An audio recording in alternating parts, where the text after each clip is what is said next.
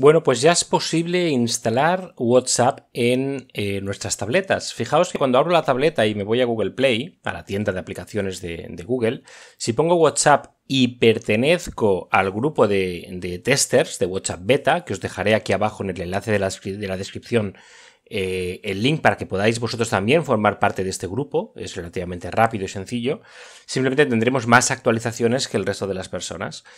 Eh, como veis, las capturas aún continúan siendo las de teléfono, no han hecho ninguna captura de cómo se ve en una tableta, pero bueno, se ve exactamente igual que en el móvil, pero más ancho.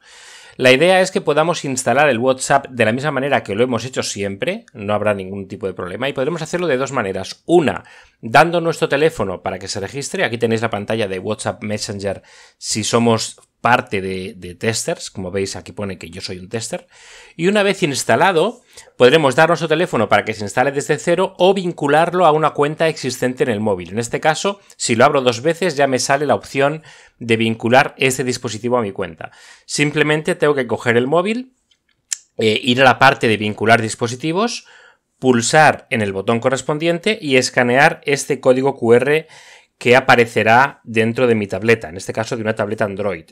Eh, lo de vincular dispositivos, recordad que solamente se pueden vincular hasta cuatro dispositivos.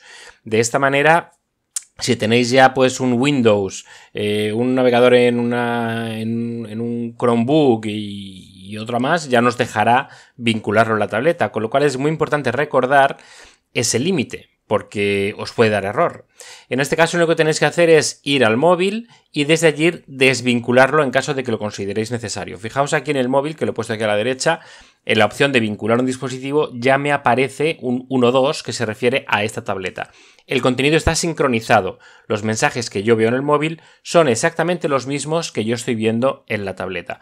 Una forma muy práctica de tener WhatsApp en pantalla grande y poder trabajar de una forma más cómoda.